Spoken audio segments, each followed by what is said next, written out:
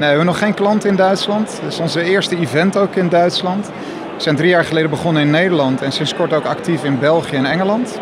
En Duitsland is wel een markt waar we naar kijken.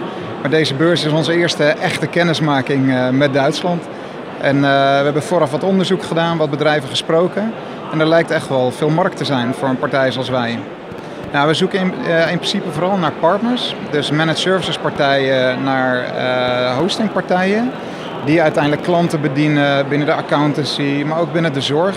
Kan, administratiekantoren, zakelijke dienstverlening. Uiteindelijk kunnen we met onze scanning en monitoring in heel veel netwerken terecht. Ook in IoT en SCADA-omgevingen, dat kan ook. Nou ja, we hebben sowieso een aantal dingen in het Duits vertaald in onze marketing. Uh, samen met de RVO wat bedrijven benaderd. Een longlist gemaakt van bedrijven die we graag willen spreken. Uh, en gebeld om afspraken te maken hier op de beurs. En vanmiddag doen we een talk hier zo ook in een van de theaters. Dus uh, hebben we ook weer mensen gericht uitgenodigd om daarbij uh, bij aanwezig te zijn.